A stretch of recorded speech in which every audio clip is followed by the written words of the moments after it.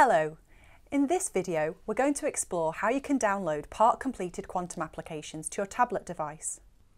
This allows you to start a new client application on the RL360 Online Service Centre and then transfer it to your tablet device so that you can complete the application offline when you visit your client. This is particularly useful if your company has an admin team who prepare applications before the advisor presents and completes it with the client. It's also handy for advisors who simply prefer to type on a computer keyboard rather than the smaller screen tablet.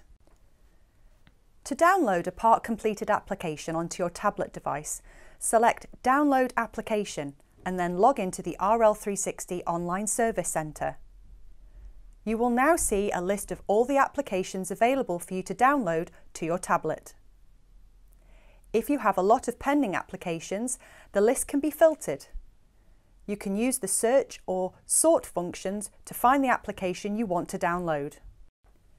Once you have found the application you wish to download, simply select it from the list and click Download Application.